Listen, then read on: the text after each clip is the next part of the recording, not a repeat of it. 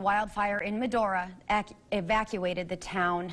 Billings County is under a state of emergency now due to the fires around Medora and surrounding area and will remain in effect until further notice.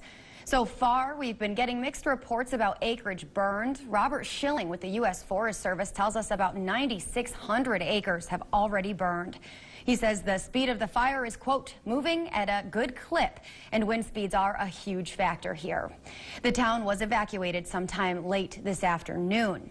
Our crew on the scene was told the call came in around 1.30. That's where this video comes from. Multiple departments include including local, state, and federal teams have responded and are working to contain the fire as well as protect the structures around the town itself as best they can. Engines from Colorado were also sent after Governor Burgum's statewide fire emergency earlier today. According to the Billings County Chief Sheriff's De Deputy Dean Wyckoff, a downed power line is said to be the cause of the fire. Black Hawk helicopters, like I said, were also on scene with water buckets. It rapidly grew and with uh, the winds shifted a little bit and it carried the fire back towards Medora.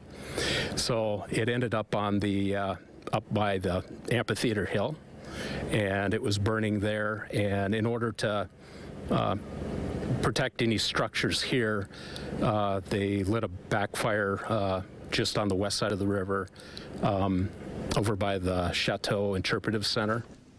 No injuries have been reported, and so far, no structural damage has been reported either.